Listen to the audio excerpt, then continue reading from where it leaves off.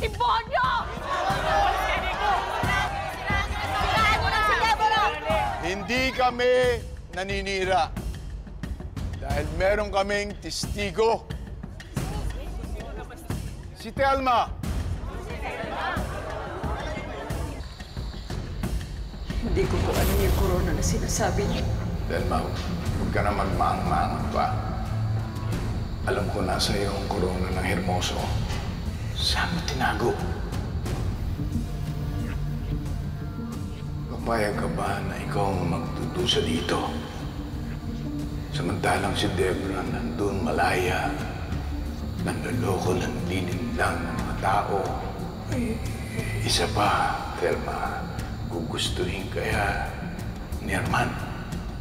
Nang basta na lang manahimik ka dito.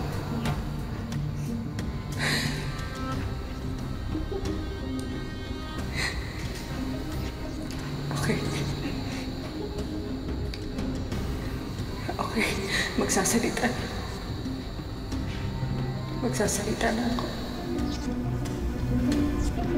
Si Telma ay leader ng isang sindikato.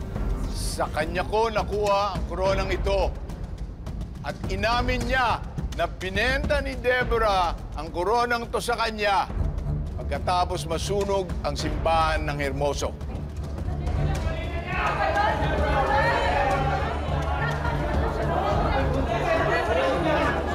Huwag kayong maniwala sa kanya, hindi ako mamamatay tao!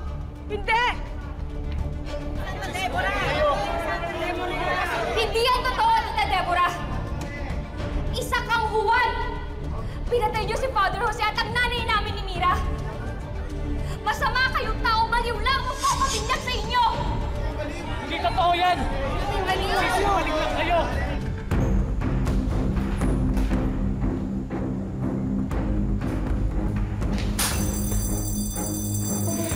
Atensyon niyo mga pulis, umalis na tayo. Huwag magpapagulat sa mga kasinungalingan nila! Hulihin niyo sila! Hulihin niyo!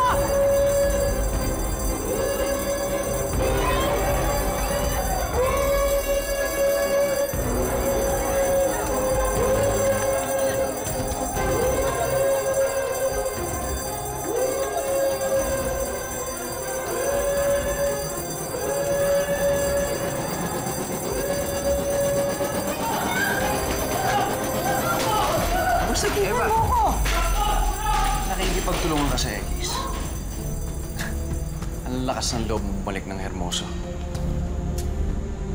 Di ba ako lubusang kilala? Talagang malakas ang loob ko. At hindi kami titigil hanggat hindi napapagbayaran lahat ng ginawa ninyo, Miguel. Wala akong panahon makipaglaro sa'yo, Eva. Asan ang anak ko? Tinatakot mo ba ako? Anong gagawin mo sa akin? Ano? Sasaktan mo ako? Papatayin? Ako lang ang nakakaalam kung nasaan ang anak natin. Kaya't kapag may mangyari sa akin, hindi-hindi mo na makikita ang anak natin.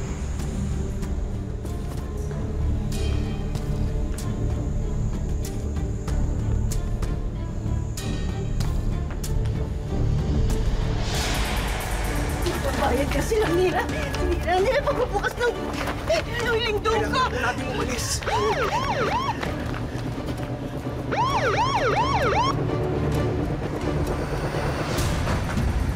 Ma'am Deborah de los Santos, pwede ka ba namin imbitahan sa presinto? Teka, hindi niyo pwede gawin yan. Asan yung warrant niyo? Meron lang kami konting katanungan para sa'yo. Malinis ang pangalan ko. Wala akong kasalanan. Handa akong sagutin ang mga tanong ninyo. Kasama ako. Tawagan ko yung abogado natin. Sabihin mo kay Maximo, balikan si Barang.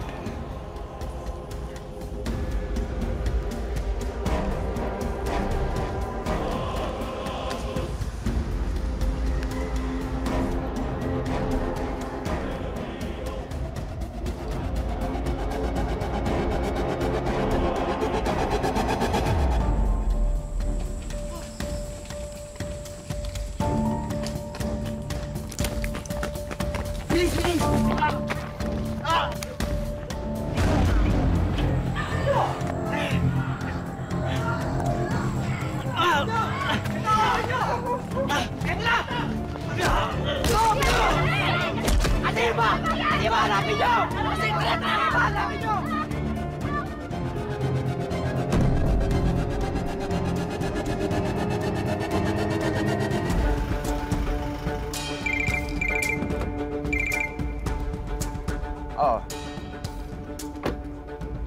Oh, dito na ako sa bahay, ate. Huwag ka mag-alala, may pagdadala na ako kay Barang. Naunahan tayo ni Tito Maximo. Hintay lang tayo dito.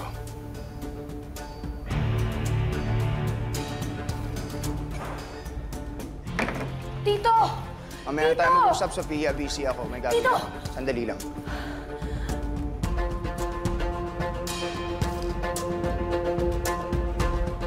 Barang! Sofia! Asan si Barang?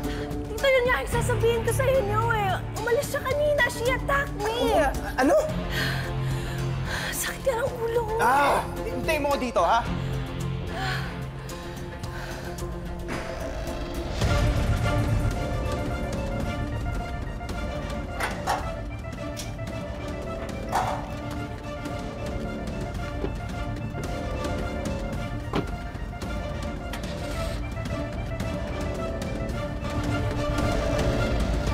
Pares na si Tito Maximo.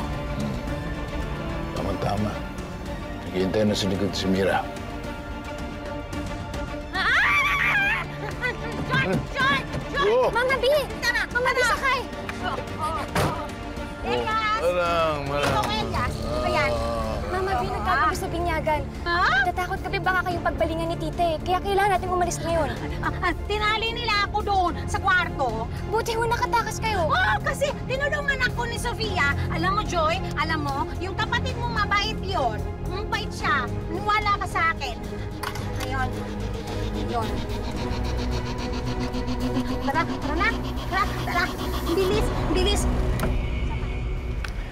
Nakuha na namin ang testimonya ni Telma Policarpio. At ang sabi niya, ibinenta ninyo sa kanya ang korona. At ang kapatid mo mismo ang nagbigay sa kanya nito. Wala akong alam sa sinasabi ninyo. Hindi ko nga kilala kung sino yung Telma na yan eh. Wala akong alam sa nawawalang korona. Ang daming taong nakakita sa akin habang lumalabas ako sa sunog. Nexamin ako ng doktor pagkatapos sa insidente. Sana kung tinatago ko yung korona, hindi nakita na ng maraming tao yun. Sikat na tao ang kliyente ko. At alam naman natin na maraming gusto sumira sa kanya. At hindi namin alam kung anong gusto niyan. Pero mas pagkakatiwalaan niyo ba ang leader ng sindikato kaysa sa sugo ng Hermoso? Attorney, nandito po tayo para malaman ang katotohanan. Ang totoo niyan, wala kayong matibay na ebidensya laban sa kliyente ko sa kaso na yan. Puro kayo circumstantial evidence na hindi tatayo sa korte. Ma'am Deborah, ano po ba ang ginagawa niyo nung gabing yun na nasusunog ang simbahan? Ano pong ginagawa niyo sa loob? Nakita niyo po ba si Padre Jose nung nangyayari yan? Ano po ba ang ginagawa sa loob ng simbahan? Eh di nagdadasal.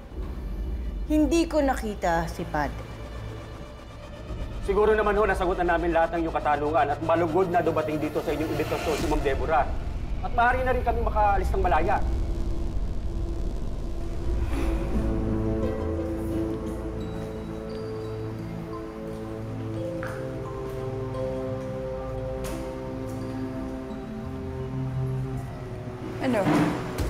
Masaya kayo sa panggugulong ginawa niyo kanina? Gusto rin naman namin malaman ng tao ang katotohanan. Agata, hindi ka na. Ikaw. Ikaw ang dapat na kinukulong eh sa panggugulo mo sa healing dome ko. Alam naman natin dalawa na totoo ang mga sinasabi ko. Hindi ko alam kung anong intensyon mo, pero parang nagkamali ka yata ng taong pinanigan. Sabi mo nga sa akin, ano ba ang mapapala mo sa pagtulong mo kay Lamira? Marami nagagawa si Mira sa... Lalo-lalo na sa panunumbalik ng mga tao sa totoong Diyos. At yan din ang dahilan kung bakit ako nandito. Yun lang. Sa tingin mo may magandang kapupuntahan yung pagtulong mo sa kanila. Alam mo, kung sa akin kakakampi at akong paniniwalaan mo, pwedeng pwede kong ibigay sa iyong lahat. Magsabi ka lang, alam mo gusto mo, gusto mo ng pangyarihan, pera. Hmm. Ibibigay ko.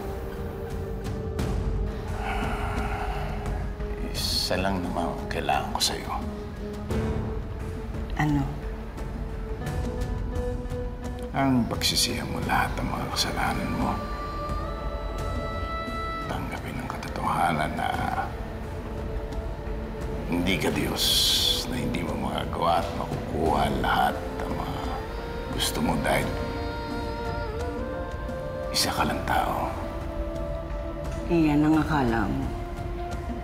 Sana makita mo yon bago pa maging huli ang lahat.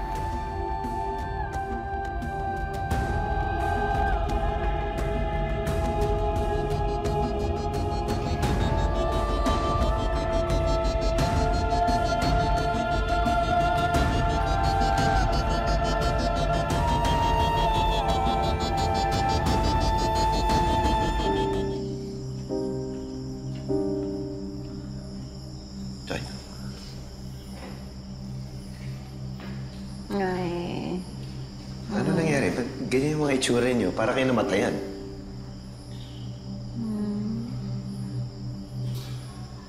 Tito, may kailangan po kayo malaman. Tungkol kay Pio. Bakit? Anong... Anong nangyari sa anak ko? Ang Tomas, nawawala ho si Pio eh. Nahiwalay ho sila kay Rafa kanina. Mukhang nakuha siya ng mga mahabol sa kanila.